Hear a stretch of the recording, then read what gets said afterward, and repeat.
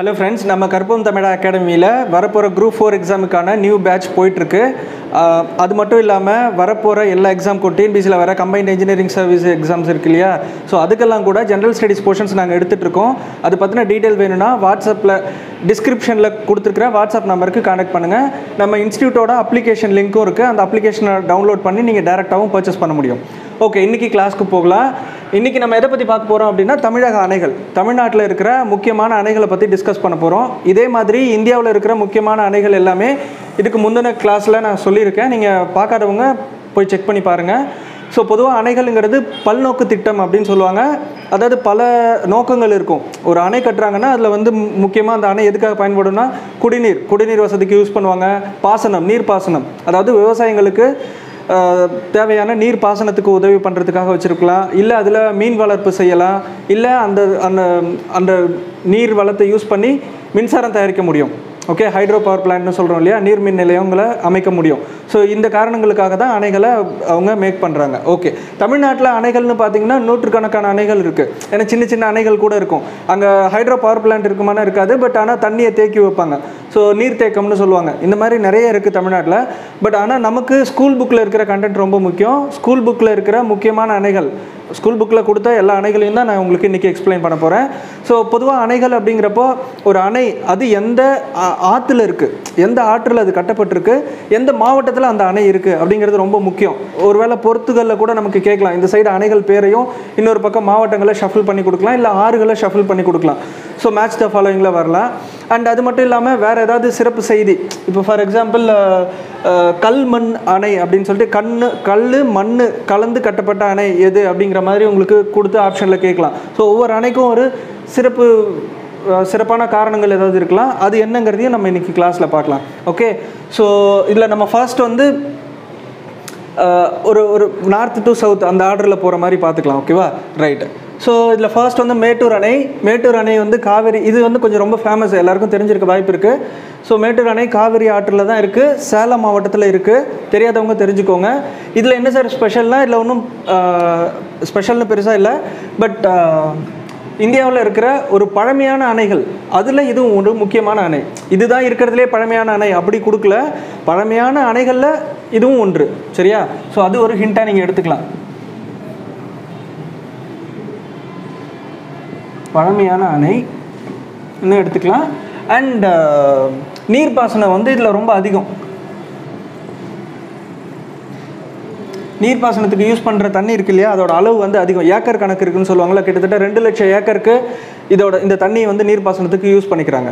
Okay அடுத்த முக்கியமான அணை எதுன்னு பார்த்தீங்கன்னா பாவர் சா பவானி சாகர் அணை. பவானி சாகர் அணை அப்படிங்கிறது பவானி ஆற்றிலே தான் இருக்குது அது பேர்லேயே வந்துடும் ஆக்சுவலி பவானினா பவானி அமராவதி அமராவதி அண்ட் ஆழியாறு ஆழியார் வைகை வைகை ஆறுன்னு தான் வரும். ஸோ பெரும்பாலான அணைகள் வந்து அந்த ஆற்றின் பேர்லேயே தான் வரும். அதனால் ஈஸி டு ரிமெம்பர் ஓகே எது வித்தியாசமாக இருக்கோ இப்போ ஃபார் எக்ஸாம்பிள் சாத்தனூர் பார்த்தீங்கன்னா தென்பண்ணையில் இருக்குது இந்த மாதிரி வித்தியாசமாக இருக்கிறத நோட் பண்ணிக்கிட்டிங்கன்னா மற்றதெல்லாம் நீங்கள் ஈஸியாக ஞாபகம் வச்சுக்கலாம்.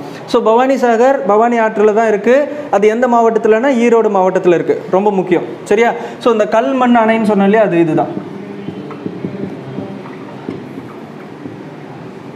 கல் மண் கலந்து கட்டப்பட்ட அணைகளில் பெரிய அணை அப்படின்னா பவானி சாகர் அணை. கல்மண் கலந்து கட்டப்பட்ட அணைகளில் பெரிய அணைகளில் ஒன்று அப்படின்னா அது பவானி சாகர் அணை ஈரோடு மாவட்டத்தில் இருக்குது ஓகே அடுத்து அமராவதி அணை.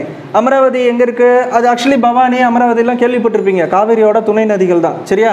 ஸோ இது எங்கே இருக்குன்னா திருப்பூர் மாவட்டத்தில் இருக்குது ஸோ அமராவதி அணை அது திருப்பூர் மாவட்டத்தில் இருக்குது இங்கே என்ன ஸ்பெஷல் இருக்குது அப்படின்னு பார்த்தீங்கன்னா இங்கே சீங்கனி சீங்கண்ணி அப்படின்னு சொல்லுவாங்க. சீங்கண்ணினா என்ன சார் அப்படின்னா இது ஒரு ஒரு கைண்ட் ஆஃப் குரொக்கடைல் அதாவது ஒரு முதலை. இது ஒரு வகையான முதலை. என்ன முதலைன்னு பார்த்தா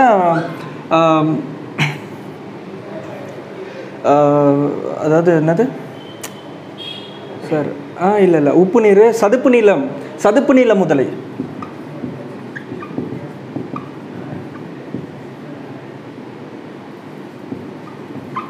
ஆக்சுவலி சதுப்பு நில காடுகள் சதுப்பு நிலம் இதெல்லாம் நம்ம படிச்சிருப்போம் ஜியாகிரஃபியில் அதுதான்.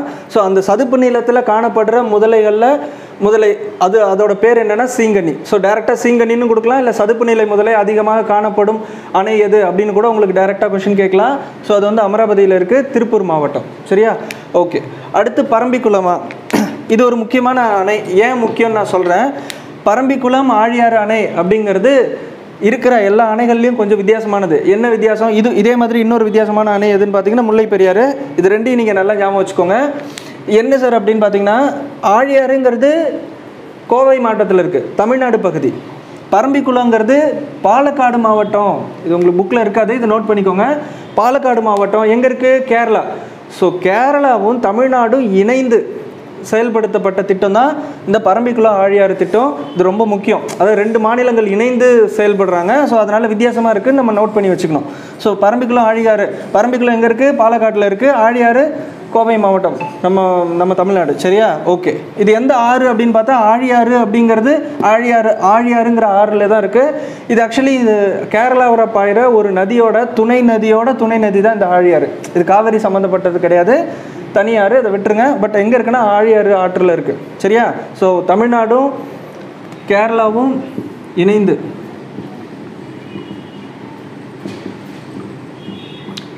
ஓகே கிட்டத்தட்ட ஒரு ஏழு நீர்த்தேக்கங்கள்.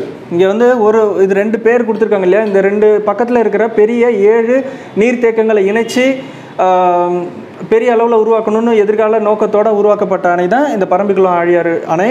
ஸோ அதை நோட் பண்ணி வச்சுக்கோங்க. அடுத்து கிருஷ்ணகிரி. கிருஷ்ணகிரி அணை எங்கே இருக்குன்னா கிருஷ்ணகிரி மாவட்டத்தில். இது வந்து யூஸ்வலாக எல்லா அணையும் ஆறுகளோட பேரில் வரும்.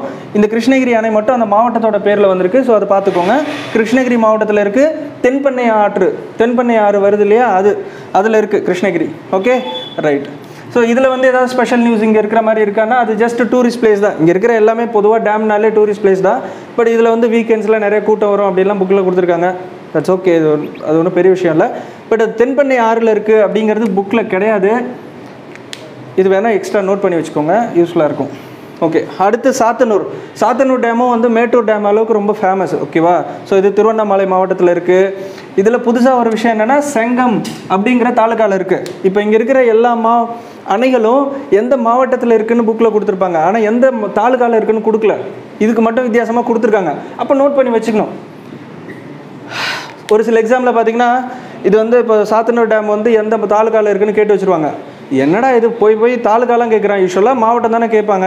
அப்போ இருக்கிற எல்லா டேமுக்கும் நம்ம தாலுக்காலாம் படிக்கணுமா? அப்படின்னு நம்ம நம்ம நம்ம அப்படி தான் நினைப்போம். பட் ஆனால் புக்கில் இந்த ஒரு அணைக்கு தான் கொடுத்துருக்காங்க. அப்போ புக் அதை மட்டும் பார்த்துக்கிட்டா போதும். இருக்கிற எல்லா அணைக்கும் பார்க்கணுன்னு இல்லை. புக்கில் இருக்கிற இன்ஃபர்மேஷன் நமக்கு தெளிவாக இருந்தால் போதும். சரியா? ஸோ அதான் கான்செப்ட்டு அது பார்த்துக்கோங்க. இது எங்கே இருக்குன்னா தென்பண்ணை ஆறு. சாத்தனூர் டேமு தென்பண்ணை ஆற்றில் கட்டப்ப கட்டப்பட்டிருக்கு. அது திருவண்ணாமலை மாவட்டத்தில் இருக்குது செங்கம் தாலுக்கா எக்ஸ்ட்ராவாக இதில் என்ன இன்ஃபர்மேஷன் இருக்குன்னா சாத்தனூர் அப்படின்னாலே முதலை பண்ணை தான். தமிழ்நாட்டில் ரொம்ப ஃபேமஸான முதலை பண்ணை எதுன்னா சாத்தனூர் தான். ஸோ இங்கே சொன்னது சதுப்பு நில முதலை அது சீங்கண்ணி சீங்கண்ணிங்கிற வெரைட்டி ஓகேவா இது வந்து ஜென்ரலாக முதலை பண்ணை. முதலை பண்ணை அப்படின்னாலே சாத்தனூர் தான் ரொம்ப ஃபேமஸ் ஓகேவா ஸோ அதை மறந்துடாதீங்க இது ரொம்ப ரொம்ப முக்கியம். ஸோ இங்கே அது இல்லாமல் வேறு என்ன இருக்குது அப்படின்னு பார்த்தீங்கன்னா வண்ண மீன்களுக்கான பண்ணை இருக்குது வண்ண மீன்கள் இருக்கு இல்லையா? ஸோ அந்த வ நிறைய கலர் ஃபிஷ் ஸோ அந்த வ வண்ண மீன்களுக்கான பண்ணை வந்து இங்கே சாத்தனூர் டேமில் இருக்குது முதலை பண்ணையும் இருக்குது இது ஆக்சுவலி இன்னொன்று இன்னொரு முக்கியமான விஷயம் என்னென்னா இது வந்து ஒரு மலை பேர் கொடுத்துருப்பாங்க. சென்னகேசவ மலை. வேறு எதுக்கும் மலை பேர் இருக்காது. ஸோ மலை பேர் வந்து புக்கில் கொடுத்துருக்குறாங்க. அது தெரிஞ்சு வச்சுக்கோங்க.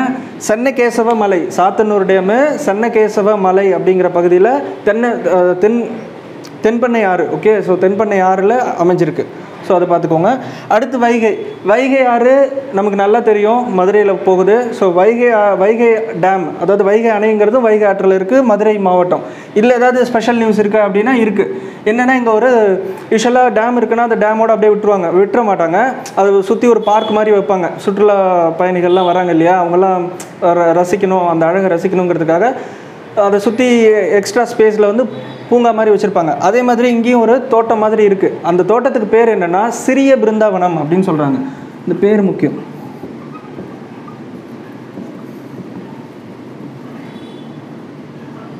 ஓகே ஸோ இருக்கிற எல்லா டேமுக்குமே வந்து பார்க் இருக்கும். பட் ஆனால் இந்த வைகையில் இருக்கிற பார்க்குக்கு மட்டும் என்ன பேர்? ஒரு ஸ்பெஷலாக ஒரு பேர் வச்சுருக்காங்க. சிறிய பிருந்தாவனம் அப்படின்னு சொல்லிட்டு. பிருந்தாவனம் தோட்டம்னா தெரியும்ல கிருஷ்ணருக்கு ஃபேமஸ் கிருஷ்ணர் இருக்கிற இடம் அப்படின்னு சொல்லுவாங்க. ஸோ அதே மாதிரி இது ரொம்ப அழகாக இருக்குது அப்படிங்கிறதுனால சிறிய பிருந்தாவனம் அப்படின்னு சொல்கிறாங்க சரியா? ஓகே அடுத்து முல்லை பெரியார் நான் அங்கேயே சொல்லியிருந்தேன் இதுவும் இதுவும் கொஞ்சம் டிஃப்ரெண்ட்டானதுன்னு சொல்லி.